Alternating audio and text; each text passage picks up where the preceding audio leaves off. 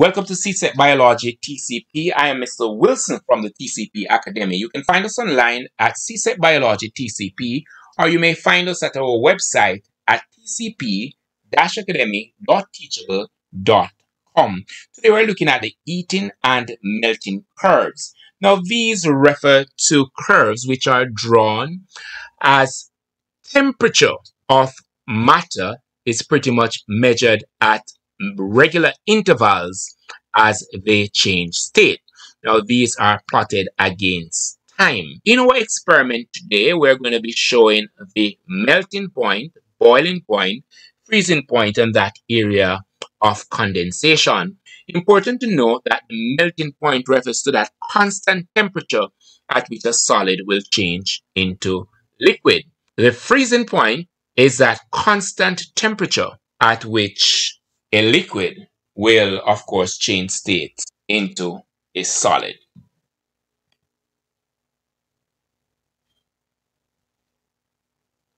We start out with the ice cube. Applying some flame. Heat energy being applied. Starting to change state.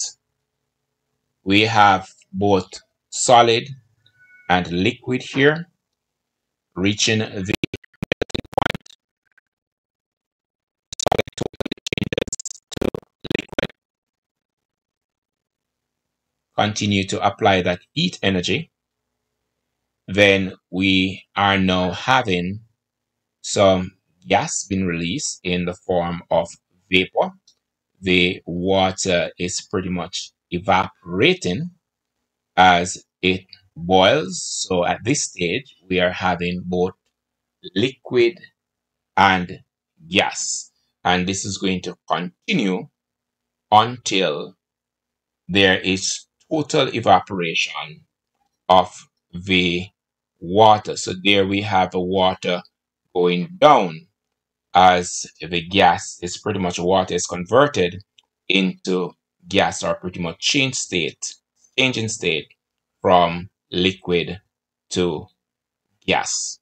That demonstrates the heating curve. Last year, many students differed on their CXC exams as they were afraid of failure due to their level of readiness. This year, Mr. Wilson and his experienced team from tcpacademy.teachable.com is here to help you get exam ready. Subscribe for free to tcp-academy.teachable.com we offer courses in CXC Biology, HSB, English Language, and many others. There are several offerings to each course. Enroll in one today.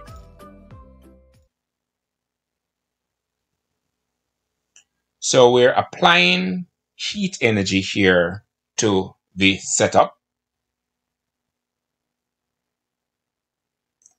There we have the water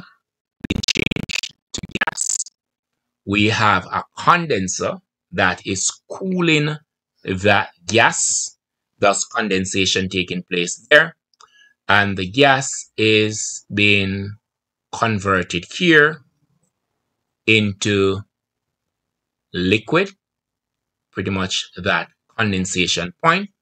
And you're seeing now the liquid being collected in a beaker. The beaker is uh, pretty much set up in a modified refrigerator.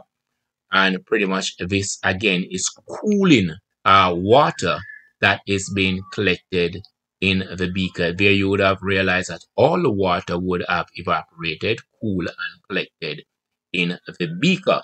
It's important to note here that as the water cools and the temperature of the water lowers, then we are reaching that area we refer to as the freezing point.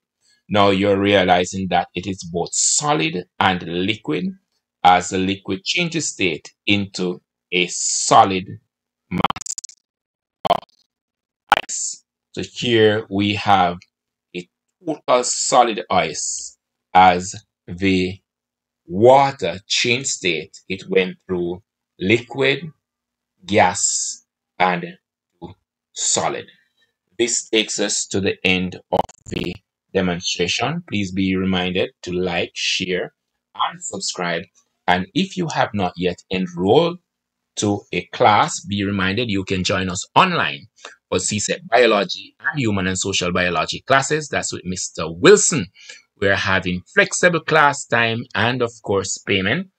Classes are perfect for students who are seeking individual tutor or they are looking for to be a part of a class. Also, it will be ideal for adult learners and other private candidates. To reach me, please WhatsApp number 1-876-219-5191. You can pay via PayPal, Western Union, or bank transfer. And this should only be done after we would have had a conversation and we can agree on a class time. Interesting. Chemistry is coming soon. Thanks much. Please be reminded to like, share, and subscribe. Get help with CSEC Biology SBA Labs and Human and Social Biology SBA Labs at tcp-academy.com. Tim had questions. He wanted to know where he could get help with his SBA Labs.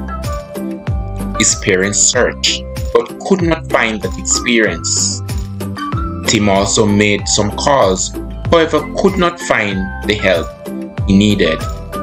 Tim needed an experience he could trust to help him get over the hurdle of SBAs as success was in sight.